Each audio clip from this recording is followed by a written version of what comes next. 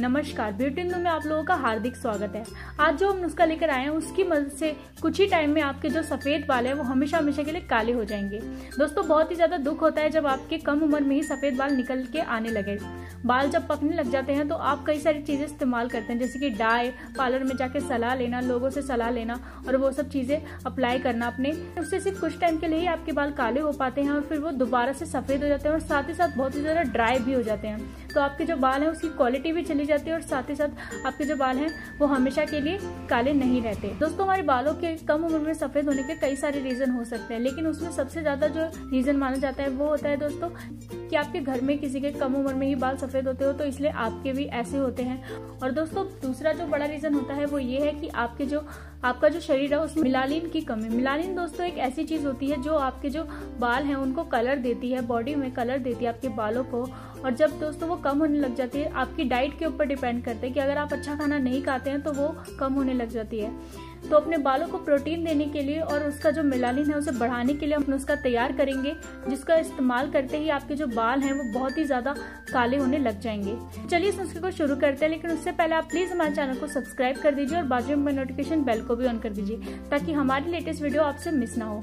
तो इस नुस्खे के लिए सबसे पहले जो चीज़ आपको यहाँ पर इस्तेमाल करनी है, वो है तेजस तेलम ऑयल इस तेल का इस्तेमाल हम इसलिए कर रहे हैं क्योंकि इसके अंदर ऑलरेडी बहुत ही ज़्यादा ऑलरेडी बहुत ही असरदार तेल मौजूद होते हैं, जैसे कि आप देख सकते हैं, बादाम तेल, जैतून तेल। और इन सारे तेलों को एक साथ लेना अलग अलग से लेना पॉसिबल नहीं होता है। पॉसिबल भी हो तो दोस्तों, उसमें बहुत ही ज़्यादा खर्चा होता है और आपको तेल कुछ मिलते भी नहीं है। इसमें कुछ ऐसे तेल भी शामिल हैं, जैसे मूंगफली का तेल जो आसान से दुकानों पर नहीं मिलता है। वो सिर्फ़ उन्हीं स्पेशल दुकानों पर मिलता है जिन पर हर हर टाइप के तेल मिलते हैं। तो इस तरीके से लाना बहुत ही ज़्यादा असंभव हो जाता है। तो इस तरीके से आप सिर्फ़ इस तेल का इस्तेमाल करें, तेजस तेलम को खरीद ले, बहुत ही कम दाम में आपको ये मिल जाता है।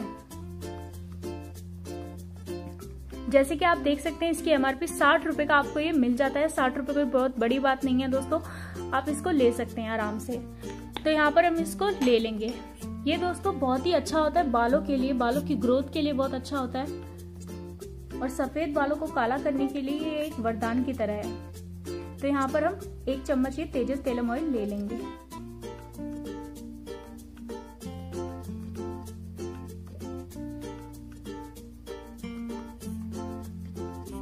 तो इस तरीके से हमने एक चम्मच ये तेजस तेलम ऑयल ले लिया है। अब इसके बाद जो हमें चीज़ इस्तेमाल करनी है, वो है ब्रिंगराज ऑयल ब्रिंगराज आप कोई सा भी ब्रिंगराज का ऑयल ले सकते हैं। तो यहाँ पर मैं ये वाला इस्तेमाल कर रही हूँ। इसके अंदर दोस्तों ब्रिंगराज की जड़ी बूटियाँ मौजूद होती हैं। तो यहाँ पर आपको लेना होगा ब्रिंगराज ऑयल वो भी दोस्तों आपको एक चम्मच लेना है। ये जो ऑयल है दोस्तों, ये खास सफ़ेद बालों को काला करने के लिए ही बनाया गया है। सफ़ेद बालों को काला करता है और बालों को बहुत ही अच्छे तरीके से ये लंबा बनाता है, घने बनाता है। अगर आपके बालों में गंजेपन की समस्या है तो सिर्फ़ भृंगराज ऑयल का इस्तेमाल करते ही आपके जो बाल हैं, वो वापस आ जाएँगे और गंजेपन की शिकायत आपकी दूर हो जाएगी। तो अब यहाँ पर एक चम्मच हमने ये भृंगराज ऑयल भी ले लिया है। अब इसके बाद जो आपको चीज़ इस्तेमाल करनी है, वो है नींबू। नींबू के अंदर सेट्रिक एसिड मौजूद होता है, जो बालों के लिए कितना अच्छा होता है, ये हम सब जानते हैं। यहाँ पर आधा कटा हुआ नींबू आपको इस्तेमाल करना है। इस तरीके से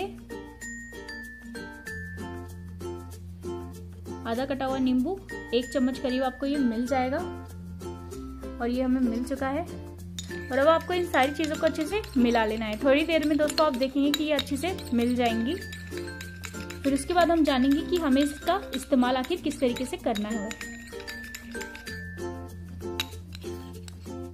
तो अब ये बिल्कुल अच्छे से बनकर तैयार हो चुका है। अब हम जानते हैं कि हमें इसका इस्तेमाल किस तरीके से करना है। इसको आपको कॉटन बॉल की मदद से इस्तेमाल करना है। कॉटन बॉल को इसमें डिप करना है और इस तरीके से अपने बालों पर, अपनी जड़ों पर इसे इस्तेमाल करना है। पूरे बालों पर आपको इसे इस्तेमाल नहीं करना, सिर्फ़ अपनी जड़ों पर इसे इस्तेमाल करें। और इस्तेमाल करने के बाद आपको इसे कम से कम एक से दो घंटे तक छोड़ना होगा। छोड़ने के बाद आप किसी भी हर्बल या माइल शैम्पू से अपने बालों को वॉश कर सकते हैं। और फिर दोस्तों, हफ़्ते में इसके कम से कम तीन बारी के इस्तेमाल, यानी कि एक दिन छोड़कर एक दिन आपको इसका इस्तेमाल करना है। ऐसे करने से आप देखेंगे कि आपके जो बाल हैं, उससे सफ़ेद बालों की शिकायत बिल्कुल दूर भाग चुकी है और आपके बाल एकदम सिल्की, मुलायम और काले हो गए हैं। तो ये था मेरी तरफ़ से आप लोग के लिए आज का नुस्खा। अगर ये वीडियो पसंद आई हो तो प्लीज़ इसे लाइक करें, कमेंट करें और शेयर करें और प्लीज़ हमारे चैनल को ज़रूर सब्सक्राइब करें।